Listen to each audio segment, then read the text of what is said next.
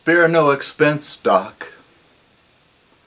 The moment that I am certain that my dentist will charge too much is when I pull up in my old battered Honda car and he drives up in a brand new Jaguar.